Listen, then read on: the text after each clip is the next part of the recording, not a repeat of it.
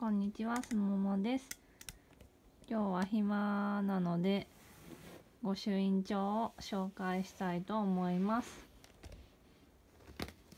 これは4冊目の御朱印になります。と広島の厳島神社で買いました。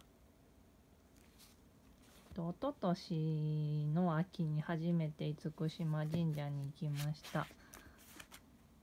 すごいかっこいいところでよかったです。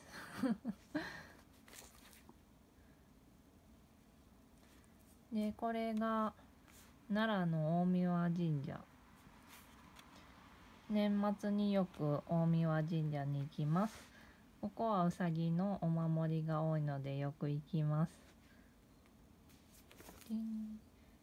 ここも大神神社。でこれは私の地元です。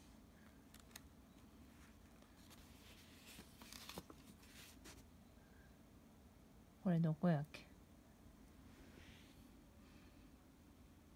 あ安井こんぴら宮。あの京都にある縁切り神社です。でこれが清水寺でした清水寺に行きました。でこれは大阪天満宮。私の誕生日に行きました。これは一心寺。でこれが安井神社。でこれがやり直し神社。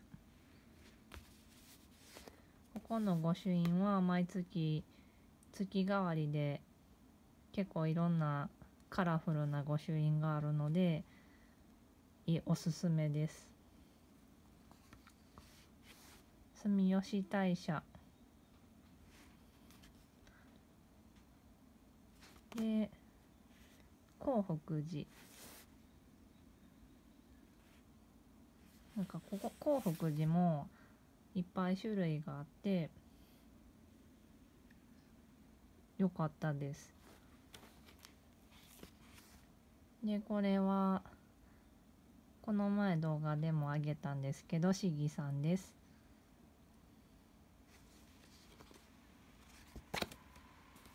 虎の限定御朱印が欲しくて全部集めました。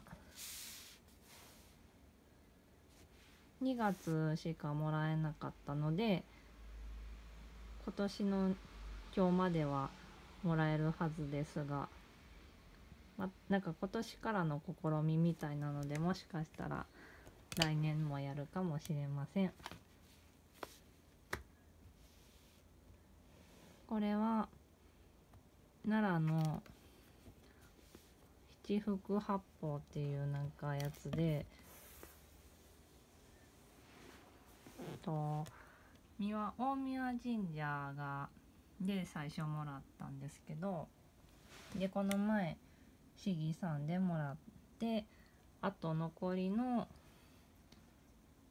奈良にあるやつをもらって最終的に壁にかけようと思ってます。残りが大麻寺と久米寺とおふさ観音と安倍文殊院丹山神社あとどこだ長谷寺3月中に行けたらいいなって思っています。でもコロナの影響でうーんもしかしたら無理かもしれないんですけどなんか早く収まってほしいなって思います。ではでは。